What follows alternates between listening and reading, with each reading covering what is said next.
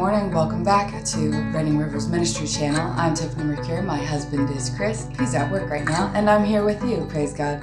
We are on a journey through a book called 100 Days in the Secret Place. I just felt the Lord leading me to do that. It stirred my faith when I went through it about, well, a couple months ago, and I just really felt Him um, tugging on me to get on here and stir your faith as well. That's my prayer over you anyway. You don't have to purchase the book. I just hope that you'll glean from things that I highlighted throughout the book and you'll take it with you to secret place and you'll allow Holy Spirit to speak to you through it. But first and foremost, let him speak to you through the word, his holy word that he's given to us. What a treasure. What a blessing. What a blessing to have the word of God right in front of me Thank you, Jesus. So here's what today's reading is it's called The Path of Christ. Let God use trials to help you grow. Do not try to measure your progress, your strength, or what God is doing. His work is not less efficient because he is, what he is doing is invisible.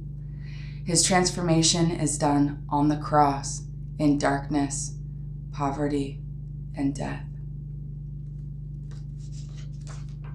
He's, he goes on to say, Allow him to strip your self love of every covering so that you might receive the white robe washed in the blood of the Lamb. You need only his purity. Listen to what I have to say. It is not easy to hear, but it will feed your spirit. Do not listen to the voice that suggests you live for yourself.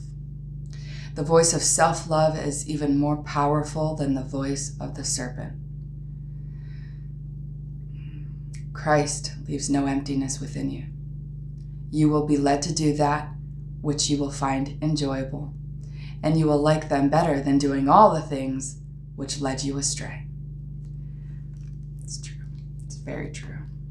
I testify to that.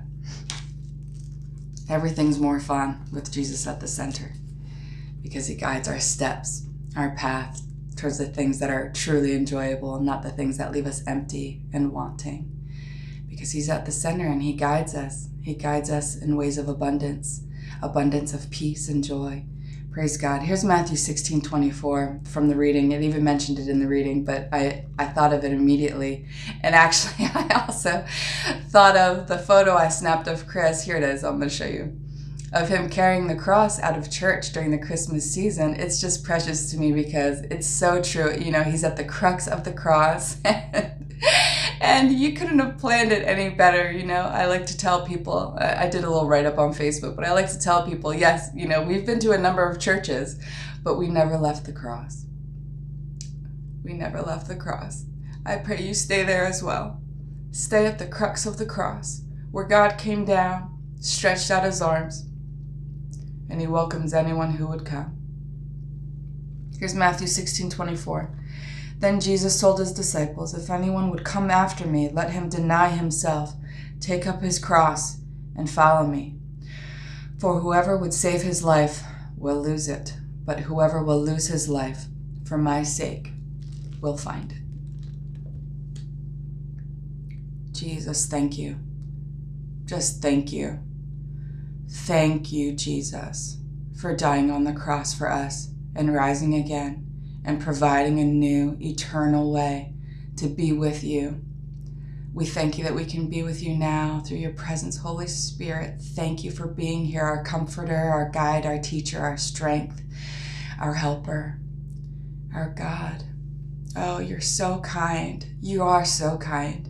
I pray that anyone needing to repent of not denying themselves first, I repent Help me deny, to deny myself first and foremost. As my eyes pop open, let me thank you for the breath of my lungs and that my eyes pop open to see another day.